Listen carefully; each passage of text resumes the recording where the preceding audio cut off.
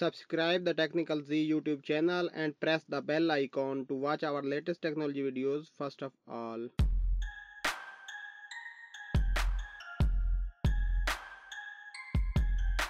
दोस्तों, अगर आप गूगल का कोई भी प्रोडक्ट यूज़ करते हैं, चाहे वो एडसेंस हो एडमोब हो या डबल क्लिक हो, आप गूगल का कोई भी प्रोडक्ट यूज़ करते हैं तो आपको एक मेल ज़रूर आई होगी, जिसके अंदर लिखा हुआ होगा important update about the general data protection regulation GDPR दोस्तों, यकीनन इस मेल ने आपको परेशान किया होगा, क्योंकि आपने जीडीपीआर का पहले ना नाम सुना होगा और ना ही इस चीज़ के बारे में जानते होंगे। तो अचानक से आपको ईमेल आ गई है तो आप परेशान ज़रूर हुए होंगे कि ये क्या है और क्या चेंजेस आने वाले हैं गूगल एडसेंस के अंदर।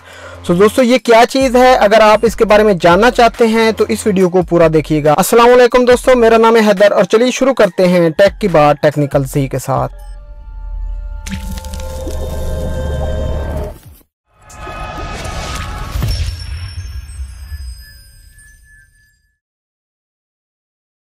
अब दोस्तों, सबसे पहले मैं आपको बता दूँ कि जीडीपीआर है क्या। दोस्तों 26 अप्रैल 2016 को यूरोपियन यूनियन की जानब से एक कानून पास किया गया था और वो कानून जो है वो स्टार्ट होना है 25 मई 2018 से।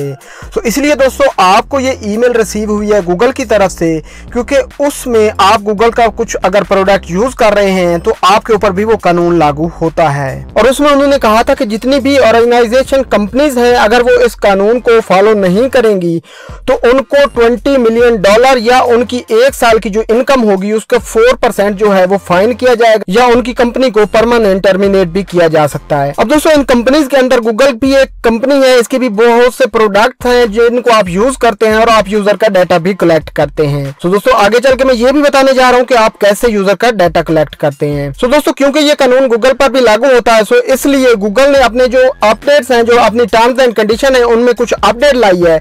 और उसमें उन्होंने ये कहा है कि आप जो भी यूज़र का डाटा कलेक्ट करते हैं, वो डाटा अगर यूज़र की परमिशन के बिना आप कलेक्ट करते हैं या उसका कुछ भी मिस यूज़ करते हैं तो उस लिहाज से आपका जो अकाउंट होगा, जो भी आप यूज़ कर रहे होंगे गूगल का प्रोडक्ट चाहे वो एडमोब होगा एडसेंस होगा, या डबल क्लिक वगैरह होगा, अब जो भी गूगल का प्रोडक्ट यूज़ कर रहे होंगे, वो परमानेंटली टर्मिनेट कर दिया जाएगा। अब दोस्तों, यहाँ पर यह भी बता दूँ कि डबल क्लिक एक गूगल का एडसेंस की तरह ही एक प्रोडक्ट है, अगर आप कहेंगे तो इसके बारे में मैं डिटेल में एक वीडियो बना दूँगा। और इसी तरह एडमोब को आप जानते होंगे, आप अपने के अंदर यूज़ करते हैं एडमोब को और एडसेंस तो आप यूज़ करते ही होंगे। सो दोस्तों, अब अगर बात की जाए अगर आपका यूट्यूब चैनल है तो उस पर इसका कोई असर पड़ेगा? तो जी नहीं दोस्तों, उस पर इसका कोई असर नहीं पड़ेगा।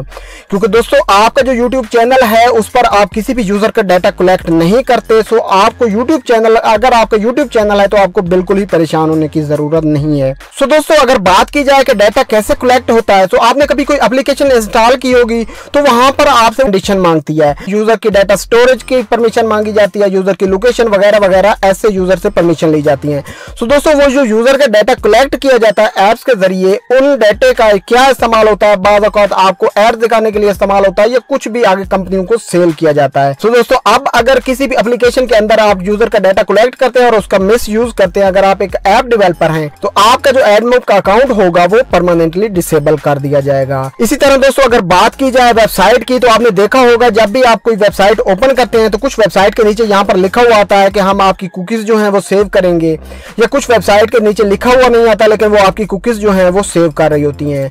तो इसी तरह दोस्तों, वो भी आपका जो डाटा होता है, जो आप सर्च करते हैं, वो सेव कर रही होती हैं। और अगर उस डाटे का वो गलत इस्तेमाल करती हैं तो उनको भी पेनल्टी हो सकती है, उनका एडसेंस का अकाउंट भी डिसेबल हो सकता है, या फिर वो डबल क्लिक यूज़ कर रहे हैं तो वो भी डिसेबल हो सकता है। सो so दोस्तों, ये थी सिंपल सी बात, ये जीडीपीआर जो है, ये उनके लिए है, जो एप्लीकेशन या वेबसाइट वगैरह या गूगल को कोई और प्रोडक्ट यूज़ करते हैं। अगर आपका एक चैनल है यूट्यूब का तो आपको कोई भी परेशानी की ज़रूरत नहीं है जीडीपीआर से रिलेटेड क्योंकि ये यूरोपियन कानून है और ये वेबसाइट और ऐप्स पर इसलिए लागू होता है क्योंकि आपकी एप्स एंड वेबसाइट जो हैं, वो सिर्फ़ पाकिस्तान या इंडिया के अंदर यूज़ नहीं होती वो हर कंट्री में आपका कोई भी प्रोडक्ट यूज़ किया जा सकता है। इसलिए दोस्तों, ये जो गूगल की टर्म्स एंड कंडीशन है, आप पर भी लागू होती हैं। तो दोस्तों, अगर आप जानना चाहते हैं कि इन टर्म्स एंड कंडीशन में क्या क्या है और क्या चेंजेस किए हैं गूगल ने और क्या क्या आपको करना चाहिए तो दोस्तों, आप सिंपली यहाँ पर चेक कर सकते हैं। EU user consent policy are being updated updated पर क्लिक करके भी आप चेक कर सकते हैं और यहाँ पर भी क्लिक करके आप चेक कर सकते हैं। यहाँ पर क्लिक करेंगे तो गूगल ने जो अपडेट लाई होगी वो आपको बताया जाएगा। और यहाँ पर क्लिक करेंगे तो जो यूज़र डाटा पिक करने की जो पॉलिसीज़ हैं वो आपको बताई जाएँगी। तो दोस्तों, आप चेक कर सकते हैं। अगर आप एक ऐप डेवलपर हैं या आपकी एक वेबसाइट है और आप डाटा यूज़र का कलेक्ट करते हैं तो आप चेक कर सकते हैं कि उसका क्या क्या आप इस्तेमाल कर सकते हैं और क्या क्या नहीं कर सकते।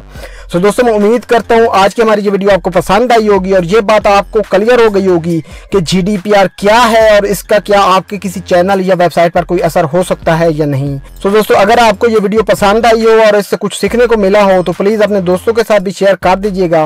और फाइनली दोस्तों, मैं मिलता हूँ आपसे नेक्स्ट वीडियो में। तब तक के लिए अपना बहुत ज़्यादा ख्याल रखिएगा। टेक केयर एंड अल्लाह हाफिज़